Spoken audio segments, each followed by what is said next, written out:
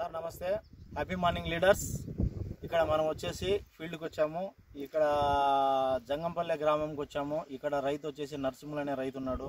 ఆయన వచ్చేసి రెండు ఎకరాల పొలంలో కొత్తిమీర సాగు చేశాడు. ఈ కొత్తిమీర వచ్చేసి చాలా ఏపుగా పెరిగింది.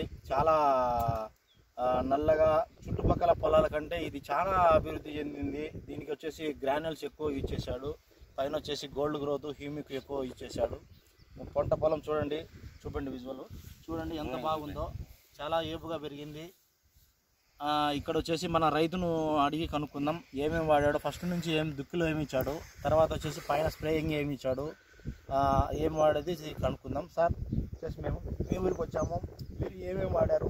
ఈ రెండు ఎకరాల పొలాలను సాగు చేశారు కదా ఎన్ని కట్టాలు అయినాయి? మీకు వచ్చిన ఆదాయం ఎంత? మీరు పెట్టిన పెట్టుబడి ఎంత? కట్టలు అయినాయి చెప్పండి సార్.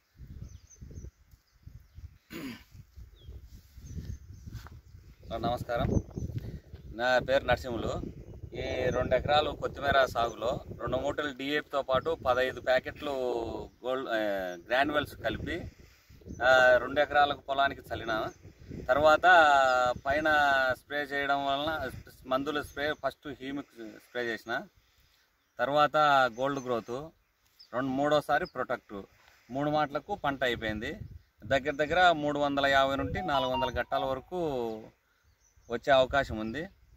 నాలుగు వందల యాభైతో కూడా రేట్ ఇచ్చేసిన పీకుతాండరు. పంట బాగుంది. నల్లగా కర్ర మీద మచ్చ లేకోకుండా నీట్గా ఉంది. అంతా సమానంగా ఎత్తులు తగ్గులు లేకుండా నీట్గా వచ్చింది?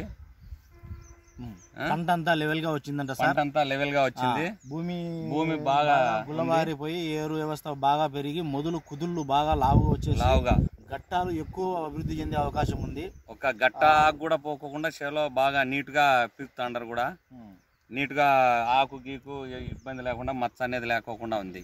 ఆకు బాగా తాజాగా ఉంది. చూడడానికి కనువింపుగా కనిపిస్తుంది.